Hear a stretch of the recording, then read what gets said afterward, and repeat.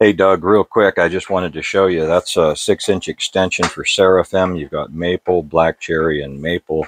Again, all of it spalted. But the joints, this is the other extension, by the way. But the joints on these things are little devils to get in there. But uh, I'm proud of that. Perfect, but holy shit, those things are designed just to be nefarious um, torture devices for the psyche in order to get those in flawless. But wow. So check out that stick back there. That is just going to be some beautiful stuff. That will need two days to cure, and then we can put uh, about 15 coats of Solarez on it, the way I like to do it. And it'll be looking like glass